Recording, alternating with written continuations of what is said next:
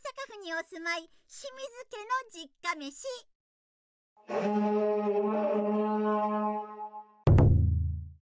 醤油豆腐の作り方は？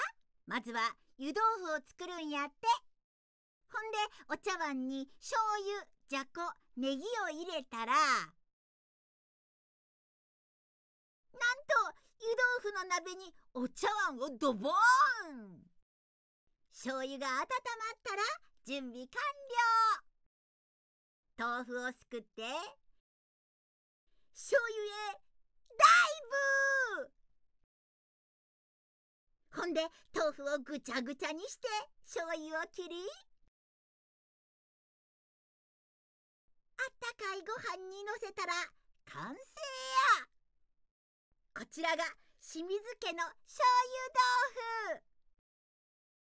湯豆腐の弾力に醤油のうまみが染みたじゃことネギがええアクセントになって。